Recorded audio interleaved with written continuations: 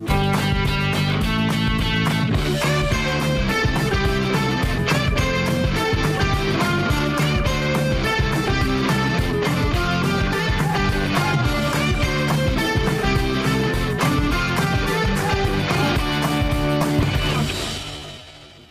to a partly little satirical broadcast we like to call Mix at Three, everybody. It's a Monday, yay! the hour has begun for the week. It's Cliff and it's Italian. Hope you're doing well. Yes, yeah. And coming off of a busy weekend. A very fun weekend, Yeah, right? yeah. Fun, busy, and uh, uh, happy if you're a Chiefs fan or a 49ers fan, but we'll get to that in a second. Yes, yeah. Oh my gosh, I'm lo- losing my voice.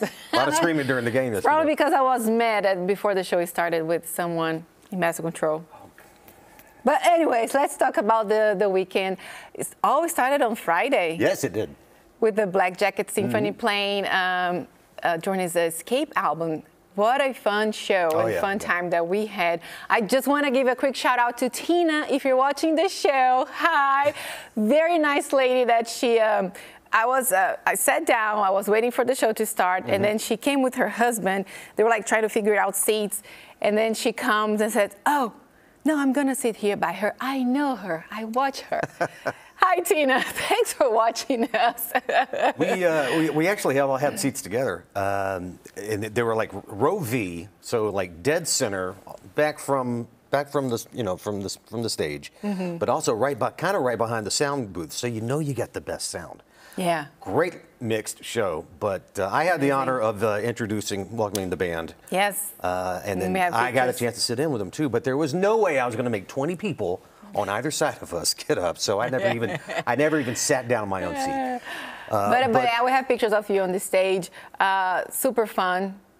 Oh, I didn't even see these photos. Yeah. Oh, yeah, okay. I yeah. forgot to send it to you. Down there with Rob. Uh, yeah, they let me sit in with them again on a tune. Will they ever learn? This is their uh, sixth year coming into to, uh, the area to perform. Journey album, obviously, it's you know, don't stop believing, separate ways. I mean, girl can't help it. Yeah. Uh, I mean, all the hits. So many. Uh, and so many people having a good time there. But yeah, Yeah. they really did sound amazing. Uh, this is what when they were playing Lights. It is my favorite Mm-hmm. song. It, it was so much fun. So much fun. Yeah, I had a good time. And then at the end, we, we took a picture with the the guitarist and the singer. They yeah, were the, amazing. the bald guy is the singer. Ryan, yeah. And he did his um, comparison to Steve Perry singing was Oh, eerily uncanny. right? Yeah. Yes. Almost spooky. And uh, the guitarist there, ooh, Neal Schon, you better watch out. That guy Yeah. was playing everything just spot on. So yeah, good time for that on Friday. We also have a video of Cliff playing, but uh, yeah, and- you see the packed house. Um, and look at you jamming with Uh, a. you can't really see. I'm way off in the back there. but, well, uh, but then I zoomed in and make sure yeah, that you know, could had a little show fun, you. A little fun the 12 string guitar. Play a little triangle. Uh, you know, Yeah. Have some fun with it, and that's what it was all about. And they even let me sing this time. They were really drudg- drudging the bottom of the uh, barrel here for that. See, I can walk and play at the same time. I got rhythm. Fun times. Fun But uh, yeah, good time for that. And then um, save the date, April 19th. They're coming back Mm-hmm. with uh, Prince's Purple uh, Rain album. Yes. That'll be fun too. You know, the thing Mm-hmm. is, when you go to one of these shows at the intermission, they'll, they'll throw up a, uh QR code on the stage. Mm-hmm. So you're able to scan it and get the tickets beforehand. They already sold 600 tickets for that show already. I, I saw a lot of people pulling up the cell Oh, yeah. phones. It's a clip. That, yeah, I should have seen it. Don't know if I'll be sitting in on that one. Got to figure out what song I Wow. would do for that. But yeah, a good time. It was a good time. Um, sorry to one of the ladies, super nice lady. I was in the line waiting to take a picture with the band, and she poked me and said, "Sorry, I know you're in line to take a picture with them, but could you please take a picture?" And then I, I think I heard her saying of us, so I thought she wanted me to take a picture of her and her friend. And turns out she wanted to take a picture of me. So sorry if I looked confused, puzzled, but it was a pleasure to take a picture with you. We got to see that photo now. So if Yes, you're out there, send, send, it to us. Send it to us. Send it to us. And then, of course, the big thing was Sunday. You had the Mm-hmm. AFC and the NFC championships. Um, my wife was pleased. oh, I'm sure she was. Chiefs winning. Mm-hmm. Uh, uh, uh, Zaina also pleased. 49ers, 49ers, winning. yeah. Um, it was. I had some friends who really wanted the Lions to make it this year. Didn't quite happen. Sorry, guys. Next year. All right. Next year. Super Bowl matchup now between the Chiefs and the 49ers. Uh, now, if you're hoping to see the game in person, if you're going to actually try to make that trip to Allegiant Stadium in Vegas, you better be prepared to shell out some serious dough. The leading app and site for last minute tickets Gametime, uh, they have released the ticket prices. Okay, Be so- sure you're sitting down for this. Yeah, sit down for this. So currently, the lowest price getting seats are available for $9,269 each, including taxes and fees. The top price seats are available for $38,362. Or the price of two tickets to a Taylor Swift concert. Or that. And tickets on Ticketmaster were advertised for as much as $55,000. So uh, for those who can get there, the Super Bowl will air live on CBS February 11th. yeah. That'll be my case. I'll be watching on TV. That would never, ever happen at my house. First of all, you've heard that story about there's that one gentleman that has been to every Super Bowl. Mm-hmm, yes. He's not missed one single Not Super one Bowl. single, yeah. Where's this money coming from? He better just be getting the free ticket as, as, some, as a nicety. he's at least spending 10000 a year with, with that, just for the ticket, not including the cost or flight and hotel and The taxes alone are five times the price of a regular ticket. So, good Yeah. Lord, yes. that's Yeah, a lot of I'll money. be watching it from TV. Thank you very much. Okay, so uh, do you know who will not pay for this much money? Well, Taylor Swift. of course. But even if she had to pay, she can afford all the seats in the stadium. But here's the thing Taylor has a concert in Japan the day before. So now the question is will she make it on time for the Super Bowl? Because she said she was going to go, she's, Right. she's planning to attend. Right. Okay, so it's a long, a long flight. You see, from Japan to Las Vegas, You actually put time into this. It's a 12 to 14 hour flight. So, okay, so we're breaking down here. Uh, Tokyo, Tokyo is 17 hours ahead of Las Vegas. Right. Okay. Uh, the flight from Tokyo to Las Vegas, okay, 14 hours. Okay. Okay. If she leaves Tokyo at midnight, because that's usually the time that her concerts end, look at Cliff's face. okay, that's 7 a.m. Saturday in Vegas. Okay, remember, uh, Vegas is 17 hours before there, okay? So it's the day before Tokyo. Tokyo is ahead. You should know this. You just got back from Australia. Yes, yeah. Okay, so she lands in Las Vegas at 9 p.m. Saturday night if she leaves Tokyo at, right at midnight. Do the conversions. That makes plenty of time for her to attend the Super Bowl because the kickoff is at 6 p.m., uh, 6:30 p.m. on Sunday. So she has time to take some, take like a full night of sleep, and then gracefully be at the, the Super Bowl. Here's a breakdown. So maybe she can make it. What do you think, Cliff? These, I think these numbers are giving me a headache, is what I think. Okay, okay, so there is a reminder though. Okay. There will be a temporary flight restriction over uh, the stadium that will be on effect from 2.30 p.m. to 8.30 p.m. local time on game day. I would expect that. Never, so yeah, they always close, right? Yeah. Flights on game day. So girl, you have to fly right after the show. Because if you leave the next day, then you might get in trouble.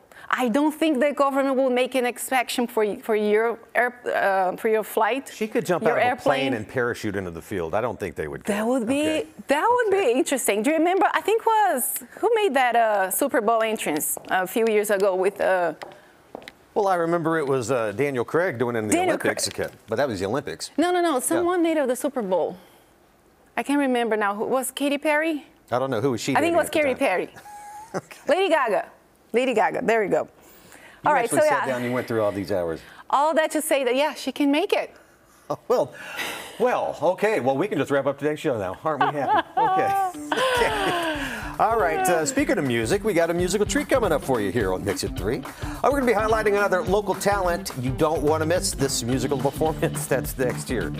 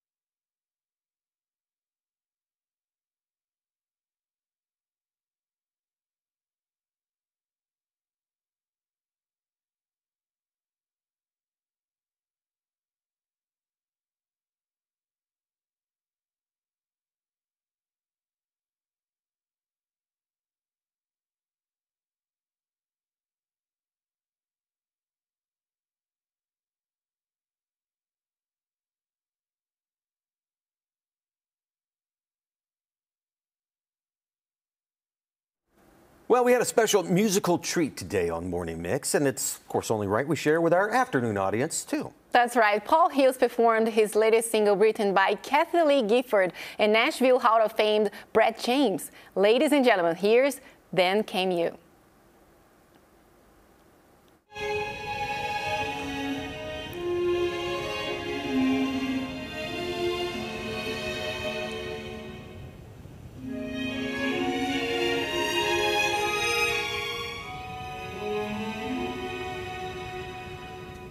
For so many years, I sat in the shadows, only flickering memories around me.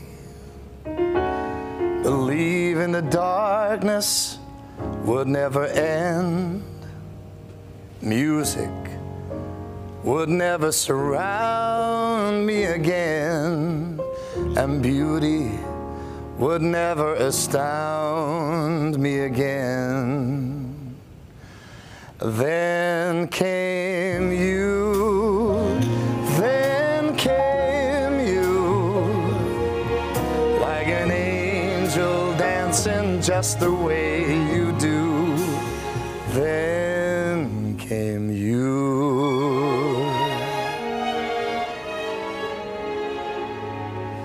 For so many years, I lived in the shadows, only flickering memories inside me. Believing the sadness would never end, the stars would never shine again, and love would never be mine again. Then came you, then came you, like an angel dancing just the way you do. You swept into the shadows, stepped into my wounded heart. That's when I started to feel again. I finally started to heal, and then the idea of love became real again.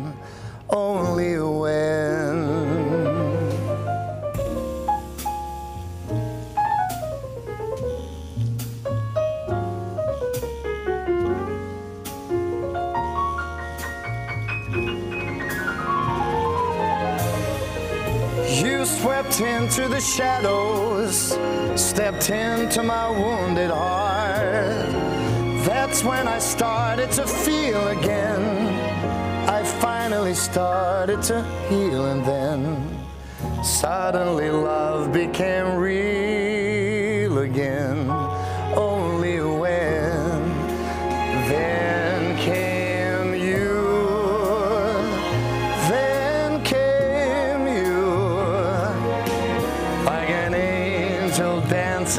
Just the way you do. Then came you, then came you, like a miracle that's too good to be true. Then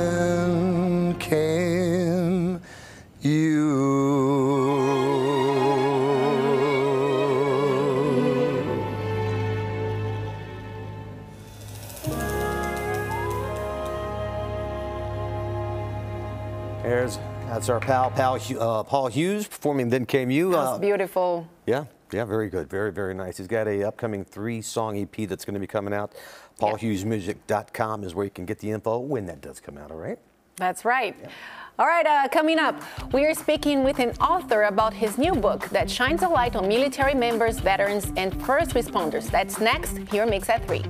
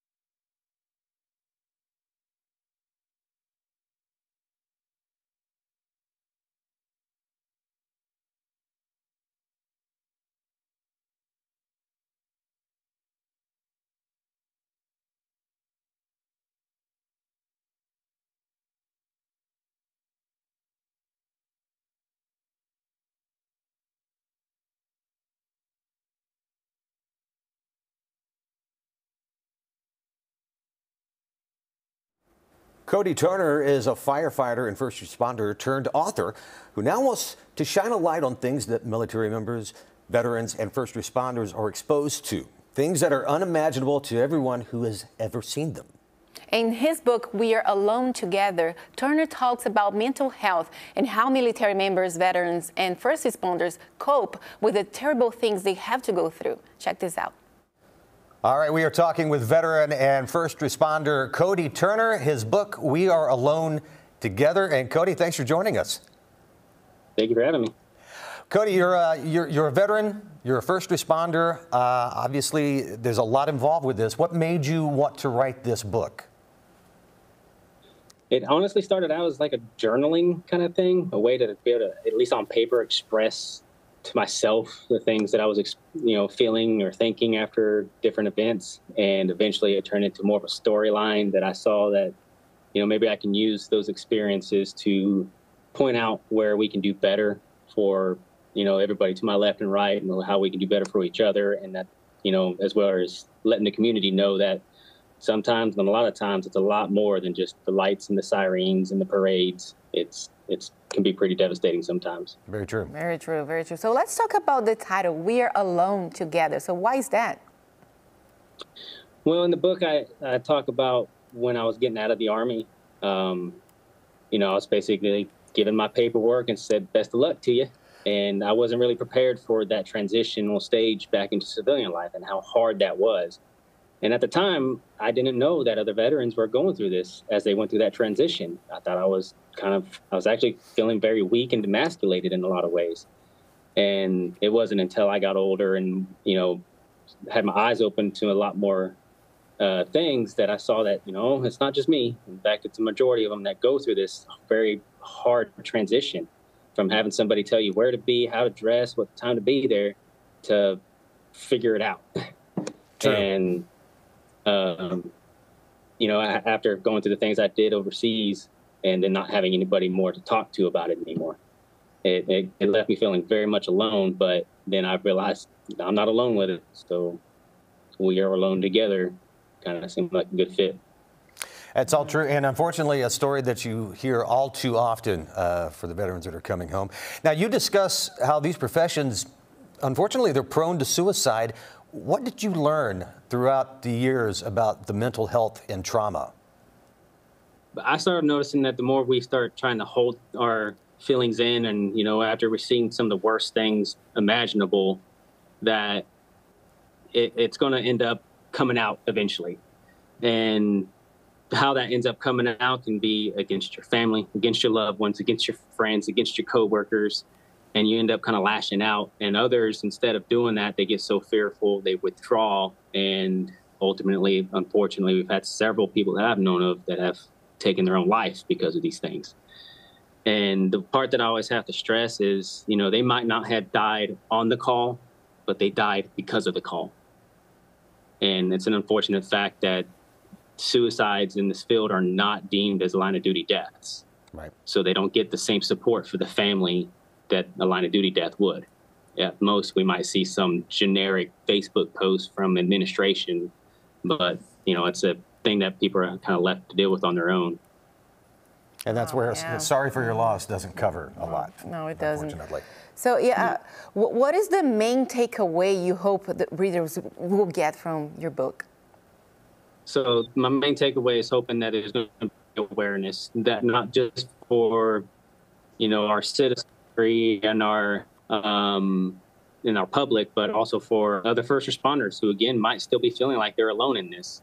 Um, that you know, for the citizenry, they can understand that we're not just driving ambulances and saving kittens out of a tree. Sometimes seeing the worst of the worst, and that we're you know we're trained to do that. We're we're we're very. I mean, our training every single year it's unrelenting and never ending as long as you're working, and especially on the medical side of things where medicine's always changing. So, you know, first responders are a lot more than just those lights and sirens. The book is We Are Alone Together, and it's written by veteran and first responder Cody Turner, who has the first-hand knowledge about this. Cody, we appreciate the insight. Uh, be sure you can check that book out on Google as well. Uh, Cody, thanks a lot for spending some time with us today and give us, getting us some insight on the book. Yes, sir. Thank you for having me. And uh, you can find that uh, We Are Alone Together. Uh, that book is available on Amazon. Uh, very nice guy. Mm-hmm. And I tell you what, I mean, he, he really, really sends it home for it. Yeah, very important message for sure. Absolutely. All right, coming up, we've got entertainment news on the way. That is next here on Mix at 3. Don't go anywhere.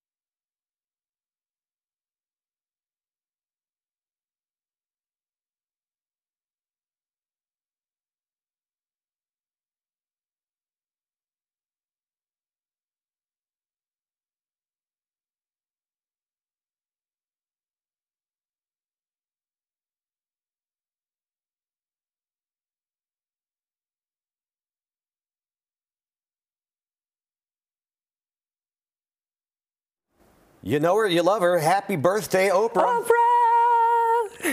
I had to say that. the billionaire, cultural icon, movie star, media mogul.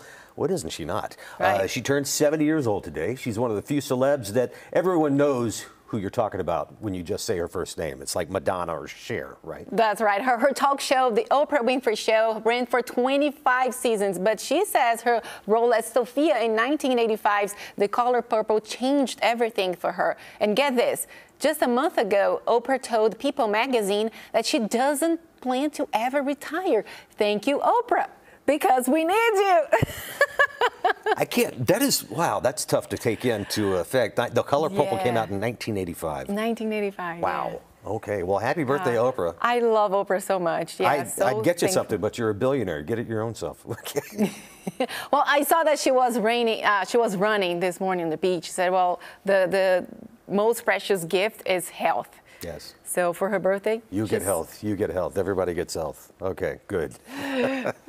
Moving on to music news now. Uh, legendary singer songwriter Joni Mitchell will take the stage of the Grammy Awards Sunday as a performer for the first time at age 80. She's been added to the star studded performance lineup that includes Dua Lipa, Burna Boy, Billie Eilish, Olivia Rodrigo, Travis Scott, U2, Luke Combs, and Billy Joel, who just is about to release new music. Right. So uh, Mitchell is a nominee this year in her, the Best Folk uh, Album category for her 2023 live album, Joni Mitchell at Newport. The nine-time Gram- Grammy winner is best known for her 70s hits such as Big Yellow Taxi, Blue, Amelia, and Woodstock. The Grammys airs live on CBS and Paramount Plus at 8 p.m. Eastern on Sunday. That's right. Comedian Trevor Noah will be hosting. Uh, Irish rock band U2 will also make history at this year's ceremony. They'll be delivering the awards show's first broadcast performance from the Sphere. Uh, you've heard us talk about that. That's a futuristic entertainment venue shaped like a sphere in Yep. uh, Las Vegas, with the tickets for that going at a couple of thousand dollars too, if you get a chance to see them. Just had some friends that went to go see it. I'm waiting to hear what their their review about that was. Uh, keep me posted. All right, we got Investigate TV Plus coming up next. Hey, it'd be a great Monday, guys. All right, thanks for watching.